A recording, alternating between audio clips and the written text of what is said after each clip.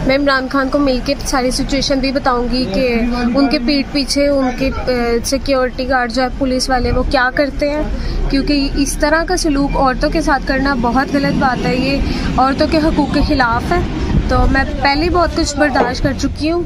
तो मुझे इस टाइम फ्लू है मुझे फीवर हुआ हुआ मैं फिर भी धूप में खड़ी ही। हूँ लेकिन इनको कोई एहसास नहीं है। ये मेरी कोई बात नहीं सुन रहे। और पुलिस को कॉल करके बुला रहे हैं। ये लेडीज़ पुलिस। मुझे यहाँ पे अब धमकियाँ दी जा रही हैं। पुलिस वाले मुझे फोर्स कर रहे हैं कि आप यहाँ से चली जाओ। तो